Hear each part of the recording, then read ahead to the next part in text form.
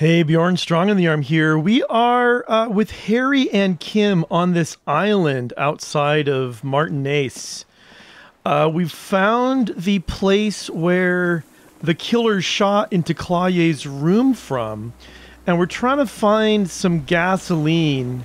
Oh, what's going on? You feel eyes on your back. Someone's watching, but you can't say where. Ugh. Um, yeah, so what I was going to say is we've got well, I've got I've got one more thought in my thought cabinet.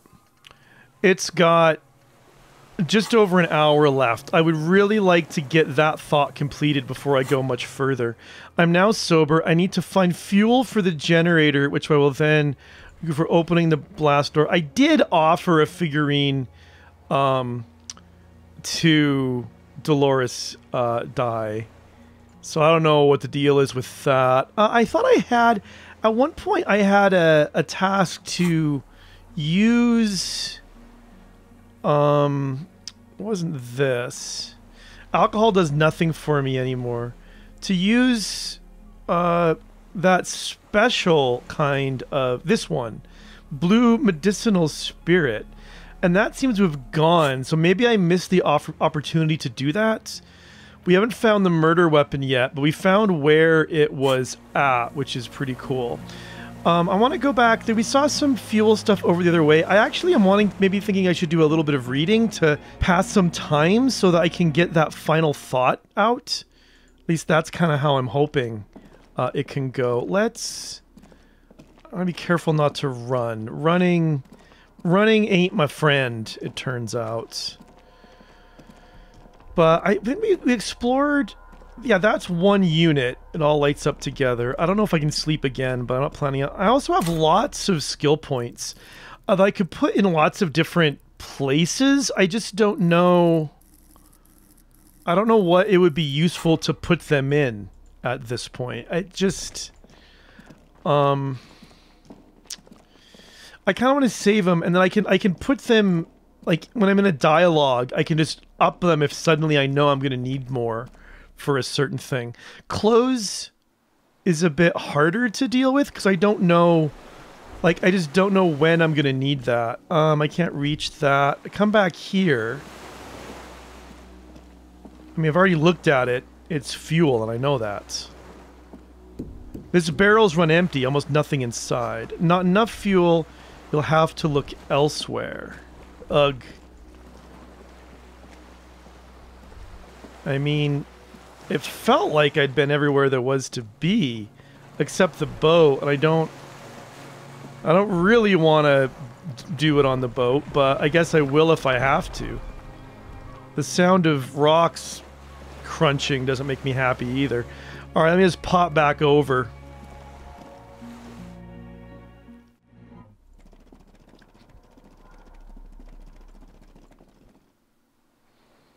All right, we're back out this way. I am regretting a little bit the fact that I um the fact that I used that uh, fuel to do that painting. It feels like now it feels like a bit of an oopsie. But let's see. I can go. Can I go further in this direction? I just don't want. I don't want to just go up in here. Oh, there's a can of fuel right there. Oh my gosh, I don't know how I missed that last time. Take the fuel canister. Let's uh, look at it. There's still some fuel in this battered canister, a liter or two. The metal looks decades old. The logo, logo of the automotive manufacturer LUM has faded on the side. All right, I'm gonna just hold on a second. What was uh, this? That was the cursed die. Um. Oh, it opened. It opened white checks. Okay. Well, anyway, let's take this fuel inside, shall we?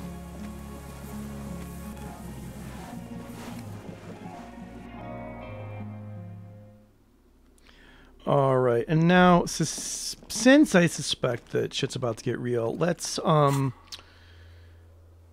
come over to my good rusty old uh where is it not ruby's journal my book, maybe it's in the tools. There it is. My ledger of failure and hatred. Let's interact with it. Browse the case files again.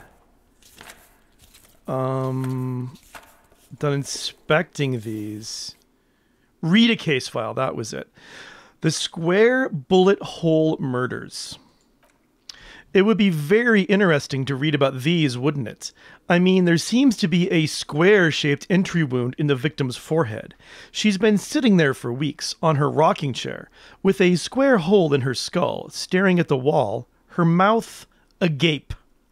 But that's all you got. From the half hour you've spent piecing it together, all you know is the entry wound was square shaped. You never found the bullets, and then another body showed up also with a square hole in his forehead. A sequence killer? Who knows? Those pages are missing. What next? Don't worry. One day. That's an unsolved case, eh? One day you may still catch the man with the square gun. I mean, maybe they weren't bullet holes. Maybe it was some sort of like funky hammers type weapon. The couch in an unexpected location some assholes brought their couch outside and hung out on it. The middle of the street, on the roof, on the hillside by the motorway, you know, at an unexpected location. They were young and they thought they looked cool on it. They looked really cool, like a rock band. Yes, as you've said here, insufferable rock rock and roll assholes. Young people are the worst. So anyway, you got a complaint about the damn sofa or couch, whatever it was. They were leaving it out in all these unexpected and whimsical locations they took to, where they also took photos of themselves on it and smoked cigarettes and drank coffee because they felt it's intellectual. Cigarette butts, coffee cups, stupid couch. You had to clean it all up, and you did. So, congratulations to you, case solved. Did they ever catch those guys? No, you didn't have time for that. These notes show that you have what is called a real goddamn job. You don't have time to be chasing down the couch assholes. You have a real job to do. What next? Well, let's read about the murder at the hookah parlor. Murder, tam tam, at the hookah parlor was a case originally assigned to an officer called Joseph Mills, who is now dead, of circumstances completely unconnected to murder at the hookah parlor. Wait, how? Beaten to death by a throng of Villalobos, uh, gang members when him and his partner JM, only initials mentioned, answered a call one night. It's a sad story and it isn't really represented in your case files. Stop stalling and get to the murder at the hookah parlor. Right on with the murder. Joseph Mills was on this case that he just couldn't solve. Was doing it solo. Said it was a real nutcracker, a real brain twister. Was on it for like a month the captain got impatient. Shit or get off the pot, Mills. Mills didn't get off the pot, not yet. He kept at it for a couple of weeks more, racking his brains, running with every theory, as outlandish as they seemed. Still couldn't solve the murder at the hookah parlor. Tough case, he said. Toughest he's ever had. Well, was Joseph Mills a good cop? No, he was awful. Awful sense of humor, too. The worst jokes you've ever heard, really rapey. Still, he'd been on it for months now. Said it was the final case. Said it was uncrackable. That the murderer vanished into thin air. That goddamn hookah parlor was all he talked about. All right, go on. Okay, so the case is uh, handed to you because Mills isn't getting anywhere. And you look into it. Here's a setup. A young man is found dead in a hookah parlor. You know, it's places where you go and smoke bubblegum flavored vapor all day. Can you get high off it? No, it's sitting in water vapor. It doesn't do anything. Ah, stupid. Yeah, so anyway, young man in his 20s, found with his skull busted open, right on the floor of the hookah parlor, in the middle of the day. No one else is in there, only client that day. In perfect health, too. Some kind of movie producer. No one enters, no one exits. He just sucking on his watermelon hookah all morning, all noon, like he usually does. He's a regular. No calls, nothing. Just sucking on the hookah until 1545. Then bam, he's dead on the floor with his skull busted open, blood everywhere. What happened? How can it be? Mills has no idea. Invisible assassin, movie deal gone sour. Girl at the counter did it. Nothing fits. Eerie. Man just do- dropped dead. So you go to the parlor. You see cushions on the table. Table's low, heavy, really sharp edge. He sucked hookah, stood up, passed out, hit his head in the table, and died. See? You can't even read the thing without solving it. Yeah, I was that. Turned out hookah does do something. It turns off your brain's oxygen supply, and you don't notice it till you get up to go to the bathroom. He must have sucked a lot of it. Yeah, he liked his hookah. Stephen was his name. And what was he doing there for six hours? Smoking hookah. Didn't you hear? I don't know. Trying to come up with a movie script, maybe. Anyway, that was murder at the hookah parlor. Joseph Mills wasn't a good detective, and about 30 minutes has passed piecing it together. Next. I'm done. Put the ledger away. Let's check out this final breakthrough the Insulindian Miracle. It's easy. You know the poem by heart because you were taught it at school. It is one of the Vola du Mar mantras repeated on the voyage that led to the discovery of the Insulindian Isola. And the words mean nothing will be changed about the light, colors like gray and brown, all printed on top of each other. I found a blank white spot. All the others looked up. What a beautiful day. What beautiful weather. But all I heard was the printing machine. What strange words to celebrate a new world. All white checks unlocked. Not sure that was worth it because I have a suspicion we're not getting to do any more white checks here before the game's over. Could be wrong about that. If so, I will definitely ask uh, Lillian for another date. Not a drunk date, though, like a good kind of date. Like maybe we could be friends and maybe it might even go somewhere else. But if it doesn't, hey, wouldn't it be nice to get dinner or maybe dance or something? That kind of date, you know? A not a creep kind of date. This old cylindrical generator wait, waits with its fuel cap open. Makeshift electrical wiring runs out of its side and across the floor. Pour fuel in the tank. The lieutenant assists you, holding the canister up to the fuel tank as you tilt. Dark brown viscous fluid pours out, and the room fills with a chemical smell. There's a red starter switch on the side of the c- cylinder and a start rope on the other side. The lieutenant flicks the switch. Pull the rope. The recoil starts start wakes the old generator up. The machine sputters like an old warhorse before settling down to a rattle. That should do it. All right, let's leave. And let's open the door. I just went orange because I lost my fuel, I presume. Man, this slow walking is really getting to me. Kim, how do you live with this? Just walking everywhere. Not running, but walking. Like, jeez. Alright, now let's open that blast door. Alright. It's on, he smiles. Turn emergency open. Turn emergency open. The blast door opens with a series of clicks. A shaft of light appears, then widens as the light shines in. Boom, we got a little bit further to go.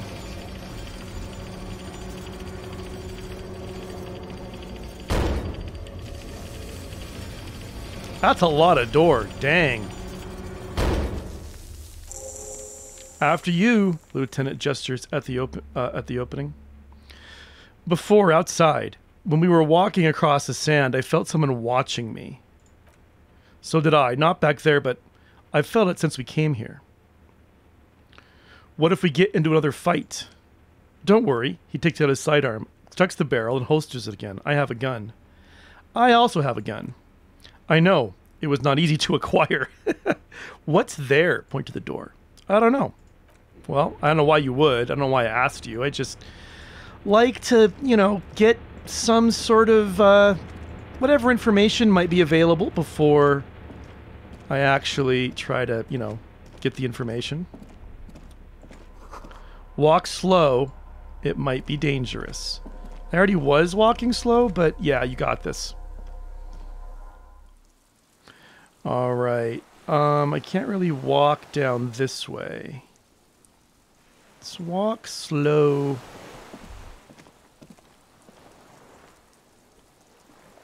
I guess I can check this dot out.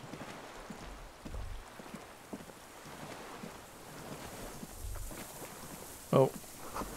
Small white flowers blossom all around you. A rubber dinghy. It's deflated. Broken. It's a bit like me, perhaps. And there's a fellow over here.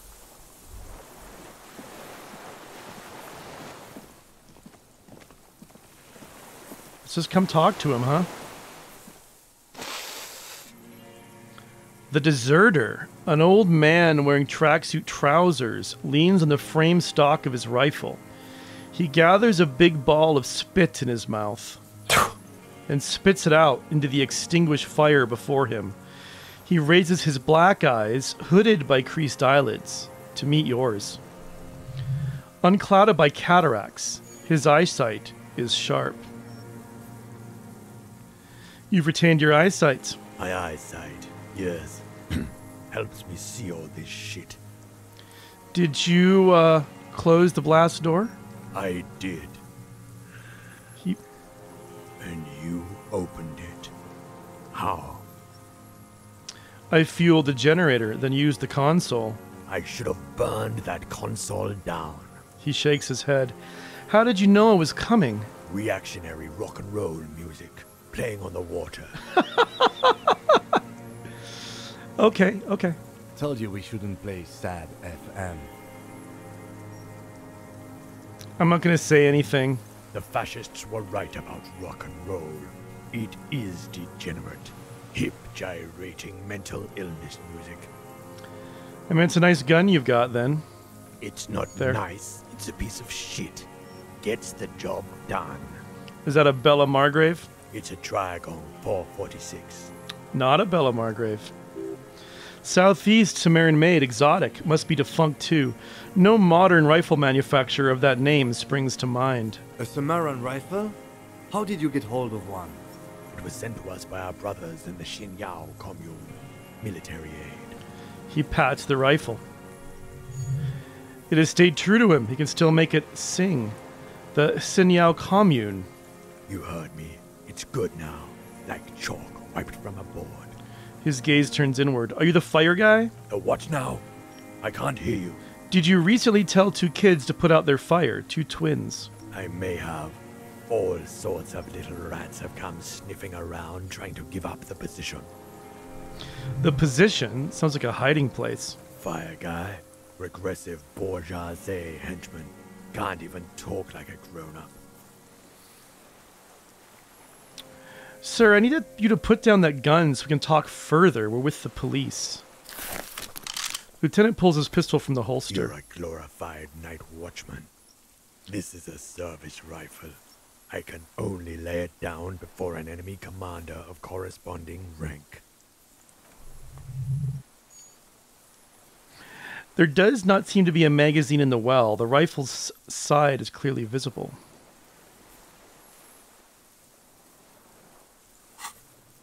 Do I want to put one to authority? I never have.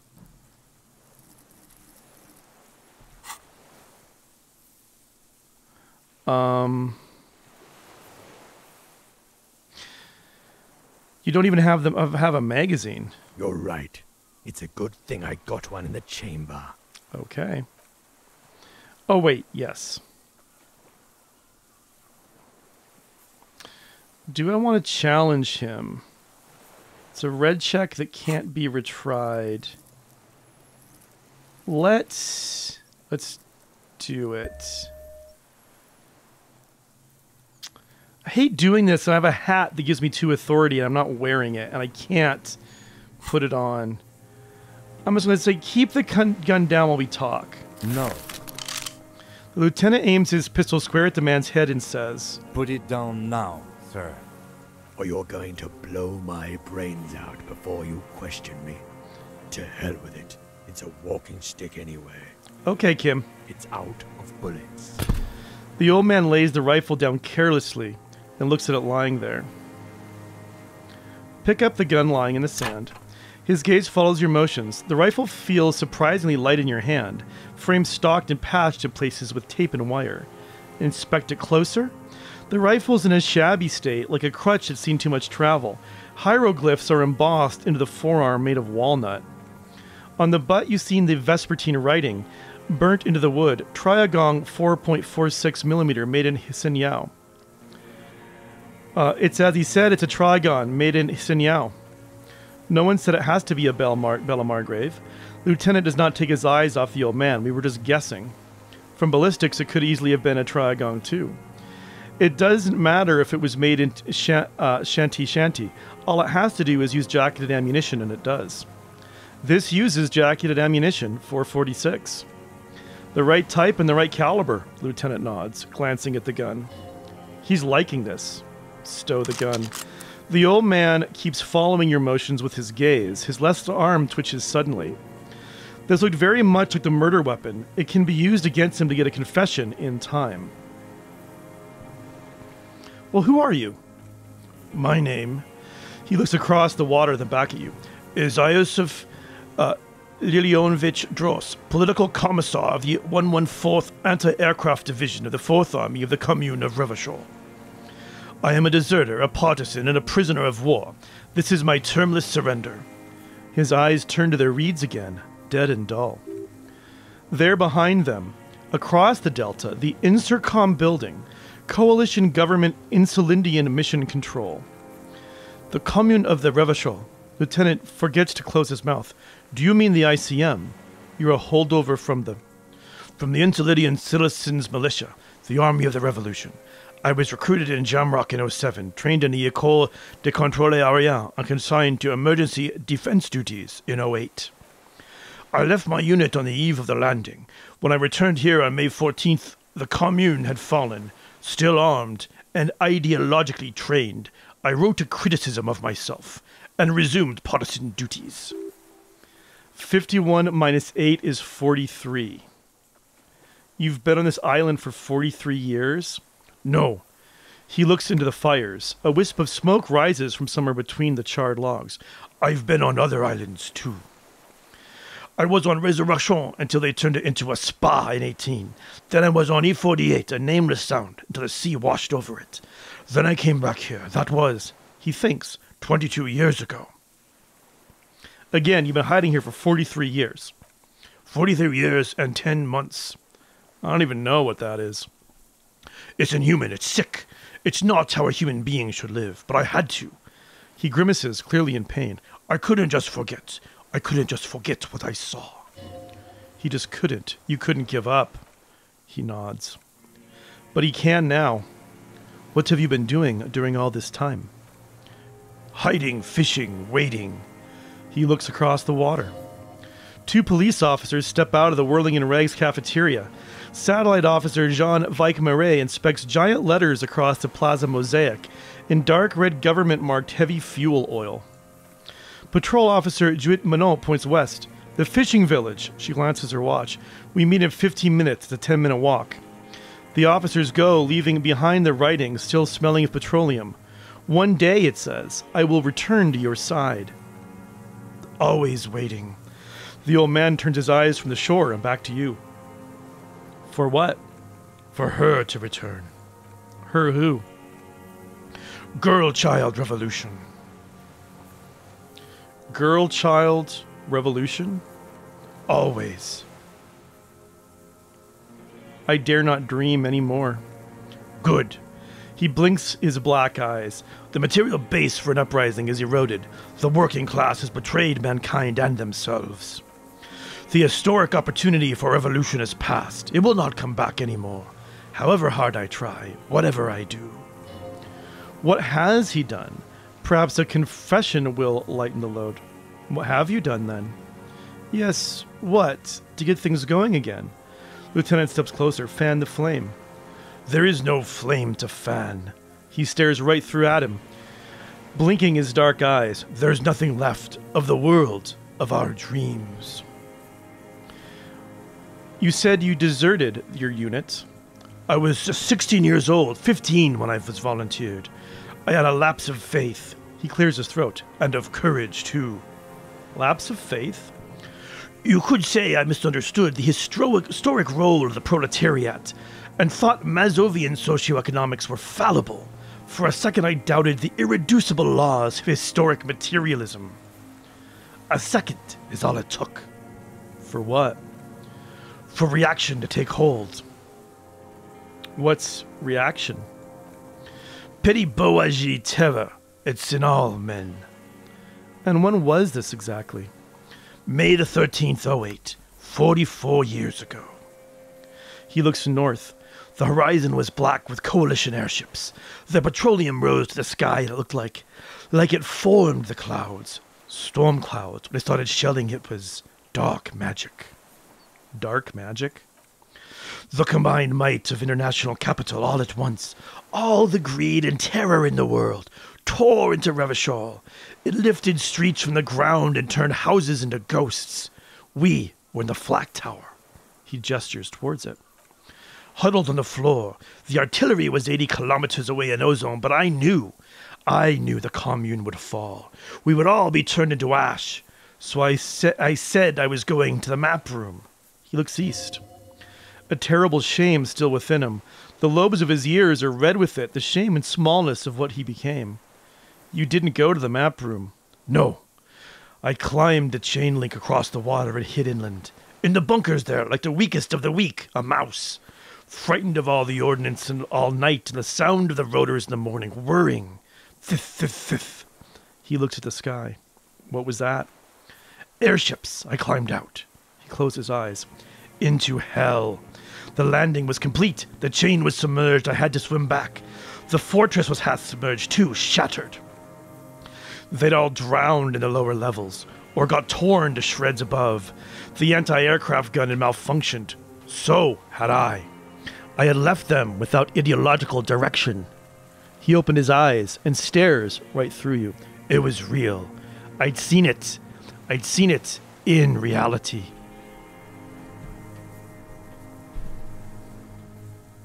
Seen what? The mask of humanity fall from capital, and I had to take it off to kill everyone. Everything you love, all the hope and tenderness in the world. And I have to take it off just for one second to do the deed. And then you see it. As it strangles and beats your friends to death, the sweetest, most courageous people in the world. He's silent for a second. You see the fear and power in its eyes, then you know. What? That the bourgeois are not human. Say nothing, let him finish. He might confess if I let him f- keep going. I had to, I had to fight it. I had to never stop. The old man falls silent. His black eyes keep piercing your skin as he looks to some great distance behind you, shaking his head slowly, retreating, retreating from it. What is this place, this island? It's not an island, Droit. Looks around. It's an offensive fortification of the commune, commune of Revachol, and I am its last surviving defender. What was it used for? The congenitally deformed King Felipe II built it to restrict access to the Bay of Revachol. We captured it in O2, retrofitted the fort with an AA gun to defend against an airborne landing, against the whole world. You mean the landing, retaking of Revachol?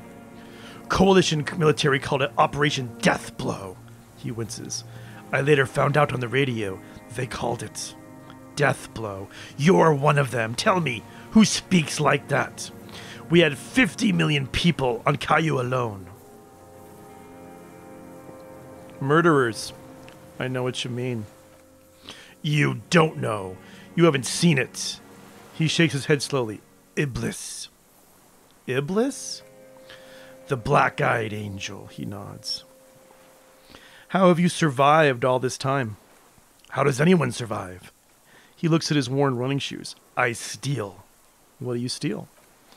Supplies, vegetables, he winces. I collect rainwater. It's the life of a dog, not a human being. He coughs once more, then puts his hand on his belly. How is your health, Mr. Dros?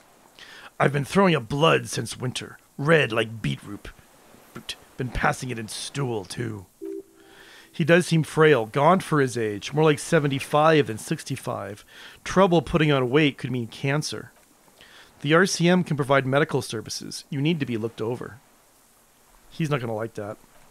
I need to die. A droll smile stretches across his mouth. You don't have any medical facilities. You have guns. That's all they give you toy guns. We have Druamine and other opioid based painkillers. You must be in pain. A light goes on in his eyes. He smacks his dry lips. I have been running out of that stuff. Um, how have you coped mentally? I haven't. I have holes in my brain. Years missing, others filled with pain only. A decade of. His eyes roll into his skull and back. I don't even know what. Inferno. Not appreciatively, I also live in hell. At least you know it. He nods towards Martinaise. The traitors this city and turned the lights back on in the 30s, after the fighting stopped. Ruins glittering in the dark, like a fucking merry-go-round. It's disgusting. He looks down at his shoes, his face parched from the sun and the wind. There's a wince of pain in there somewhere. Are they not heartbroken? How could they have moved on? How have you concealed yourself all these years? It was hard in the tens. He shakes his head. I didn't have any partisan training. They were searching for stragglers, those bloodhounds. He closed his eyes, floodlights on the water at night. There were posters, campaigns. We communards still hoped that they needed to snuff that hope out. These capitulated, Martinaise and Coal City were turned to dust. He looked south. But Jamrock, Foulberg, even Coron. And Boogie Street, of course. Those fucking kips had Mazov coursing through their veins. And others too. Some cordons of Revachol were still fighting. There were cells. I tried to contact them. He shakes his head. Soon they all went silent. The frequency's dead. How'd you get between here and the mainland? I mean, maybe the the inflatable dinghy we saw? A night he's a dinghy. He nods towards the deflated tire in the reeds. I only went after dark then. When I got to the city, I stayed underground. Patrols, you lot. The commons too, they'd start snitching. In the city, you move underground. From bunker to bunker, he nods. Not anymore, no one cares now. I don't even have to hide. They think I'm another antisocial vagrant. I mean, let's be honest, you are, but I could walk straight into that town if I wanted. I just. He falls silent, his gaze fixed on the shacks huddled together across the water. The weapons cache under St. Ghislaine 22B, in the basement. Have you been there? He looks at you, then pulls the raincoat tighter around his neck. So you finally found it. There must have been a small squadron worth of arms in there. Bell Margraves, right? They were damaged beyond use. I know. So you've been there. Sleeping, he coughs. Some nights. Ammo scrounging on others. Those Margraves were shit even before they corroded. Some have bullets in the chamber, however. You feel the dots connecting, little dots on the map he's walked across. It's a small bunker under the Feld building. Have you stayed there? The propaganda bunker. He coughs. I used to, but not anymore. Propaganda bunker. They stored leaflets there, broadcasting equipment too, made broadcasts, I think. Propaganda officers. I buried them with their leaflets. They killed themselves, two young boys. Killed themselves. A lot of our boys did. I spent some winters there, never liked it. Kept thinking of them. He stares at the ruins of the Feld building. No need to go underground anymore. It's better in the ruins on the ground. Why don't you just walk into the city? I don't want to. They're all traitors, pigs, rabbits, and dogs. Men without ideals are only animals. He does not want to see life moving on, people forgetting, drinking, laughing. So one more question. Do you smoke uh Moret Poriti Mortiri, I mean cigarettes? I do, he coughs. Ever smoke 'em on the mainland? They're good, you know. It's Plenty of tar. I like that boy in the pack too. Reminds me of the last century. Tell me another thing. The old man looks across the water at the city, the ruins, the motorway rising above it. So you're a communist soldier from the communist army? No, I'm not a soldier. I'm an ideological officer. I belong to the party, not the army. But you said you were trained and assigned to the defense corps. Trained, he nods, in historical materialism, assigned as a po- political commissar by the party. These things used to mean something. That means you're a trained communist, right? He nods slowly. Uh, other tremor. Then another tremor. Say nothing. He looks away to the sea and lets out a cough. You said this is your termless surrender? You're with the RCM. He waves in your general direction. The coalition appointed mob that enforces bourgeois morals in Revachol. We're with the RCM. Let's leave it at that. Let's. He looks you in the eye. You represent the Moralist International, the enemies of humanity who took this city. I represent their adversary, Les Parti Communistes d'Insulinde. Take me to them as a prisoner of war. I've relinquished my weapon. I can no longer serve. No superiors can relieve me of my duty. You bulldoze them all to a mass grave for trying to free humanity. His hand shakes and he breaks into a coughing fit. A spray of blood from his mouth on the black charcoal in the fire pit. Rene, the royalist on the coast, said, You never signed the Revacholian Instrument of Surrender. Only the army. Liberal reactionaries signed it for them. Traitors who should have been burned alive. He draws his breath. I am a political office commissar of the Communist Party, and the party never surrendered. Is that part of why you've been here all this time? Because the party didn't surrender? He just wipes the blood from his chin. Understood. I don't think you did. He stares the fire pit. You live in a delusion. Radio shows, speed racing, and sporting goods. It's not real. I mean, it's not fake. I have another serious question for you. There is nothing serious in this world. Looks at his gun in your hand. It's a farce. Assess his body language. That is low. I can. I'm going to put two into composure. It's now at 28, but I can retry it. Uh, for a 60 year old man with stomach trouble who spent his entire life alone on an uninhabited island, he seems surprisingly fit. That's it, squint at him. Um, he's prone to erratic hand gestures and clearly malnourished. But that's it. You can see no more by looking at his slouched frame. The moment passes and you say, What have you been using this gun for? I've used it for killing people. Killing people? It's a gun. That's what they're for. You want a moralist euphemism? Defending your family and your property? I haven't done that. I've used it to kill people. Interesting. Lieutenant nods. During or after the war? There is no after the war. He shakes his head and smiles, his teeth rotten black. Class war is never over. So he's continued killing after hostilities ended. Okay, okay. This is it. You can feel it like battery acid on the tip of your tongue. Something you haven't felt in a while, but. But what? This is what you live for. This is the shit. The great serotonin jackpot. The solution. Going straight, You'll know euphemisms. He doesn't like those. No, no, be careful now. Instead, he does it. Make him repeat it first. Don't mess this up. Remember, he wants to tell you. Get personal. Wait, so you're saying you killed people after active fighting stopped? Did you use that gun to shoot and kill a colonel of the security contractor Krenel? I know you want to tell me. Have you killed anyone with that gun in the last week or two? Or wait, which one do I say? Nothing. Nothing comes in silence.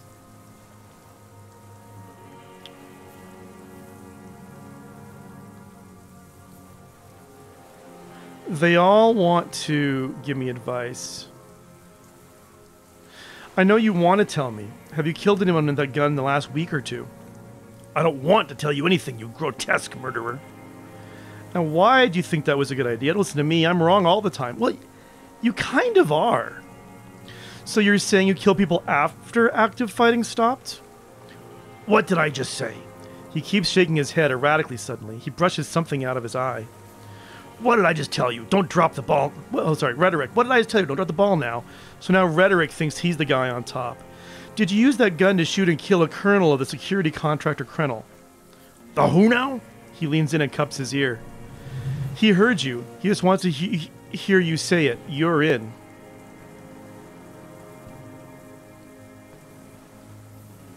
The fascist death squad who took a bullet in the mouth in the night of March 4th. Play him, play right into his hands. He's gonna want to hear that. Oh yes, that one.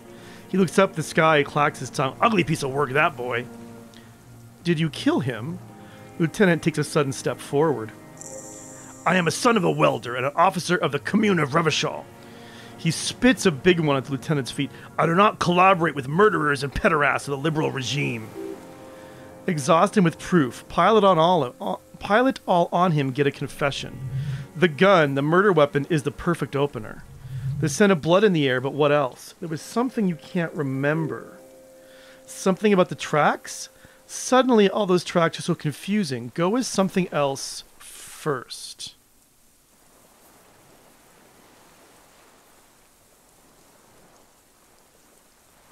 Okay.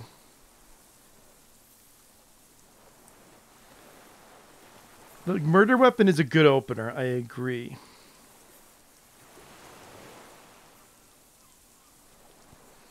Let's back off for a moment. Tell me this.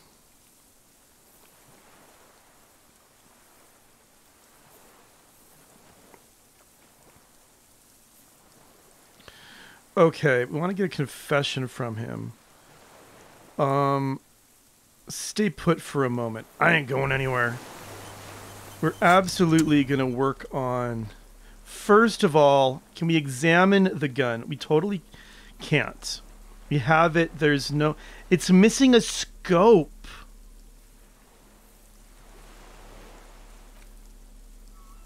I never did find a scope. Where would that have been? All right. Um, perception says, hear that? Magnesium. That's what you're lacking. The lack of magnesium has you slouched. It's a lack of magnesium in me? Yes, and it's critical. Look at yourself. You're practically devolving into a fish due to lack of magnesium in your blood bloodstream. I need to mag it up. You get so magged up. You probably had a heart, two heart attacks and a minor stroke already and the only prescription is insane amounts of magnesium. You're saying I need to become a magnesium based life form? Yes, if you want to live, you need to evolve. You need to ascend the carbon barrier. Go to the apothecary and buy insane amounts of magnesium. It'll reverse the damage to your circulatory system. I'm not buying that. Like, is there. Is there anything we missed? What have we missed? Kim, what have we missed?